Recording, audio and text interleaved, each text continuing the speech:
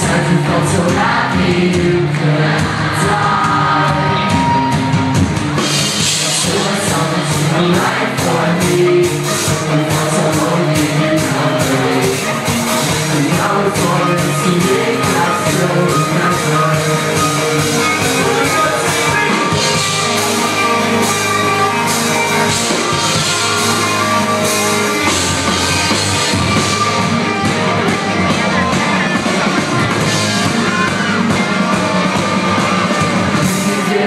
to a certain kind